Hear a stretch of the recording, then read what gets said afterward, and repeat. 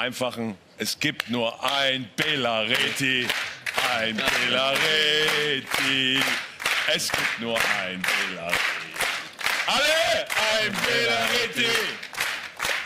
Es gibt nur Bela, ein das war nicht abgesprochen.